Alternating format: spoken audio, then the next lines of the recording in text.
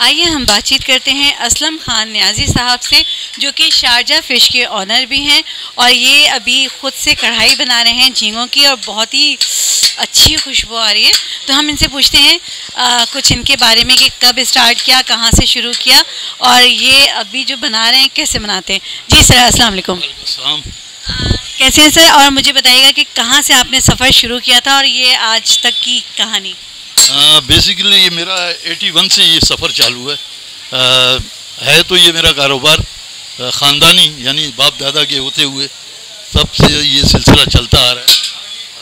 Eighty one में मैंने sports चालू किया इसकी मछली जो है बाहर कोत दुबई शारजा कतर ये सिलसिला चलता ही रहा तकरीबन 2018 तक। उसके बाद फिर इस तरफ़ आया रुझान। वो कारोबार तो चल ही रहा है। तो ये एक शौक़ था अच्छे अच्छे खाने बनाने का फ़िश का। तो मैंने ये सोचा कि बंसर रोड एक कदीम फ़ूड स्ट्रीट है, इसको हम अपना हिस्सा भी इसमें डालें। वहाँ यहाँ पर बहुत से शॉप हैं, हर किस्म की वैरायटी के हैं, प्रोग्राम बनते हैं। लेकिन मैंने अपना हिस्सा डालने के लिए बंसर रोड का चॉइस किया। तो अब यहाँ पर हम अल्हम्दुलिल्लाह अच्छे अच्छे खाने खिला रहे हैं लोगों को। हाँ झींगा कढ़ाई ये है कि इस वक्त ये इस शॉप की मशहूर डिश है। हाँ सबसे ज़्यादा जो है ना कढ़ाई को पसंद किया जा रहा है। तो हमारा और भी वो है मछली का जो बारबेक्यू है गिरल गिरल में आते हैं उस पर प्रॉन गिरल भी होते हैं उसके फ्राई भी होते हैं झींगे के। कढ़ाई ज़्यादा मस्त हो गया इस वक्त। अच्छा सर आप इसमें कोई ख़ास मसाले डालते हैं? हाँ इसमें मसाले बेसिकली वही हैं जो हम पाकिस्तानी लोग इस्तेमाल करते हैं। लेकिन इसमें जायका जो है ना वो एक कहावत है ना मर्द के हाथ में ज़्यादा जायका है। तो वो जायका यहाँ इस पर ट्रांसफ़र हो रहा है। लेडीज़ को भी ये दे देते हैं शायद उनसे भी अच्छा बन जाए। लेकिन मर्द के हाथ में जायका है ये कुदरती बात है। आ, मर्द के बने हुए खाने जो है ज़्यादा पसंद किए जा रहे हैं। तो मैं यहाँ पर ये कोशिश कर रहा हूँ अपने पाकिस्तानी बहन भाइयों की खिदमत कर रहा हूँ। आए हमारे शॉप में देखें विज़िट करें आपको अच्छा लगेगा। तो वेस्ट मोल्ड का और अच्छा करेंगे आपसे। तो ये है हमारा ये।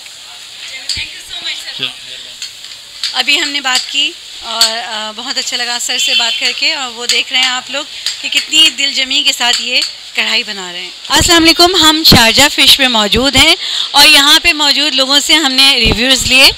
उनमें से एक साहब मेरे साथ खड़े हैं मैं उनसे पूछती हूँ कि उन्हें यहाँ का खाना कैसा लगा। अस्सलाम वालेकुम। वालेकुम अस्सलाम। कैसा लगा आपको यहाँ का खाना? जी माशाल्लाह सर्दियों का सीज़न है।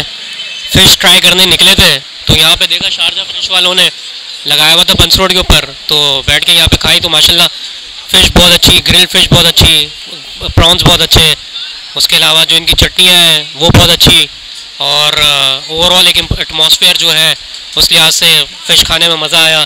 मुख्तलिफ़ फ़िश है, इनके पास मुख्तलिफ़ वैराइटीज़ हैं तो ये है कि एक ओवरऑल पैकेज हर लिहाज से बारबेक्यू आइटम में फ़िश का काफ़ी अच्छा रिस्पॉन्स है और काफ़ी अच्छा टेस्ट है। थैंक यू सो मच आइए और लोगों से पूछते हैं कि उनकी क्या राय है।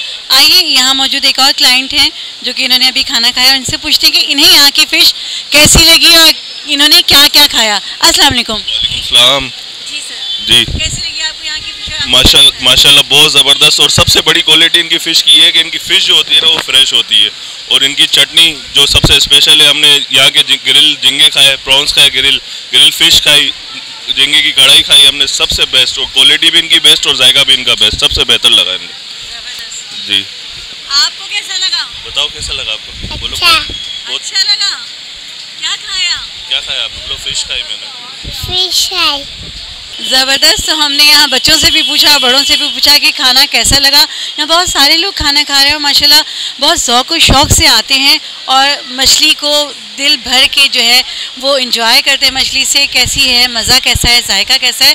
तो आ, हमने लोगों से भी पूछा तो यकीन इनकी फ़िश बहुत मज़ेदार होगी। एम एस के साथ मैं हूँ ज़मारा हिल। आप हमारे चैनल को लाइक कीजिएगा सब्सक्राइब कीजिएगा और कमेंट ज़रूर कीजिएगा।